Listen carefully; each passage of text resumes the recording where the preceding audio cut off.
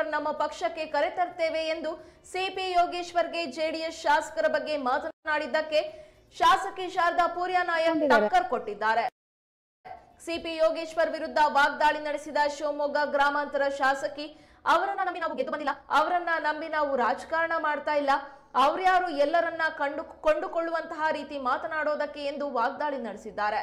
ಅವರು ಹಿರಿಯ ರಾಜಕಾರಣಿ ಗೌರವಯುತವಾಗಿ ನಡೆದುಕೊಳ್ಳಲಿ. ಅವರಿಗೆ ಅಹಂ ಜಾಸ್ತಿ. ಇದೇ ಕಾರಣಕ್ಕೆ ಎಲ್ಲ ಕಡೆ ಹೇಳಿಕೆ ನೀಡ್ತಾರೆ ಎಂದು ಕಿಡಿಕಾರಿದ್ರು. ಯೋಗೇಶ್ವರ್ ನಮ್ಮ ಪಕ್ಷದ ಬಗ್ಗೆ ತೀರ್ಮಾನ ತೆಗೆದುಕೊಳ್ಳುವ ಅವಶ್ಯಕತೆ ಇಲ್ಲ. ಎಲ್ಲರೂ ಅವರ ಹಾಗೆ ಪಕ್ಷದಿಂದ ಪಕ್ಷಕ್ಕೆ ಬದಲಾಗೋದಿಲ್ಲ. ಎಲ್ಲರನ್ನ ಅವರ ದೃಷ್ಟಿಯಲ್ಲೇ ನೋಡ್ತಾರೆ ಎಂದು ಗುಡುಗಿದ್ರು. ಅವ್ರು ನಂಬ್ಕೊಂಡು ನಾವೆಲ್ಲ ನಮ್ಮ ನಮ್ಮ ಕ್ಷೇತ್ರದಲ್ಲಿ ನಿಂತು ಗೆದ್ದು ಬಂದಿದ್ದೀವ, ರಾಜಕಾರಣ ಮಾಡ್ತಾ ಇದ್ದೀವ ಅವ್ರು ಯಾರು ಎಲ್ಲರನ್ನು ಕೊಂಡ್ಕೊಡ್ತೀವಿ ಅನ್ನೋ ರೀತಿಯಲ್ಲಿ ಮಾತಾಡೋದು ಏನು ಅದರ ಅರ್ಥ?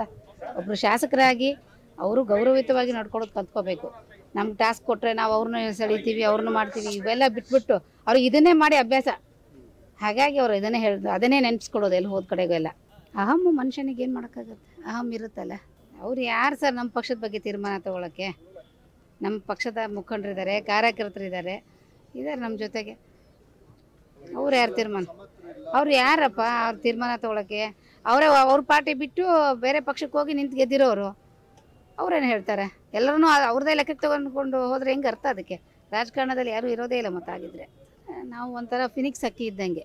ನಾವು ಮತ್ತೆ ಎದ್ದು ಬರ್ತೀವಿ ಅನ್ನೋ ನಮಗೆ ಒಂದು ದೃಢವಾದ ನಂಬಿಕೆ ಇದೆ.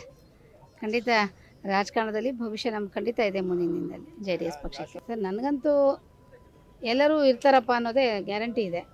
ಅದರಲ್ಲಿ ಒಂದೋ ಎರಡೋ ನಮಗೆ ಕೆಲವೊಂದು ಸಲ ಹೇಳೋಕ್ಕಾಗಲ್ಲ ಕೆಲವೊಬ್ರದ್ದು ಓವರ್ ಕಾನ್ಫಿಡೆನ್ಸು ಅಲ್ಲ. ಬಟ್ ಸಾಮಾನ್ಯವಾಗಿ ಇರೋರೆಲ್ಲರೂ ಒಂದು ರೀತಿಯ ಗಟ್ಟಿಯಾಗೇ ಇದ್ದಾರೆ. ಶಿವಮೊಗ್ಗದಿಂದ ಆರಂಭ ಆದ್ರೂ ಆಗ್ಲಿ ಏನ್ ತೊಂದ್ರೆ ಯಾರು ಅಂದ್ರೆ ಹಂಗಂತ ಯಾರು ಹೇಳಿದ್ದು?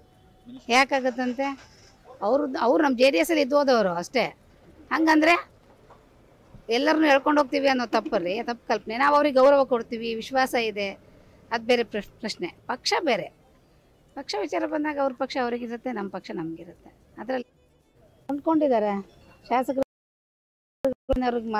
ಅವ್ರ ನಂಬ್ಕೊಂಡು ನಾವೆಲ್ಲ ನಮ್ಮ ನಮ್ಮ ಕ್ಷೇತ್ರದಲ್ಲಿ ನಿಂತು ಗೆದ್ದು ಬಂದಿದ್ದೀವ, ರಾಜಕಾರಣ ಮಾಡ್ತಾ ಇದೀವ. ಅವ್ರು ಎಲ್ಲ ಕೊಂಡ್ಕೊಡ್ತೀವಿ ಅನ್ನೋ ರೀತಿಯಲ್ಲಿ ಮಾತಾಡೋದು ಏನದ್ರ ಅರ್ಥ? ಒಬ್ರು ಶಾಸಕ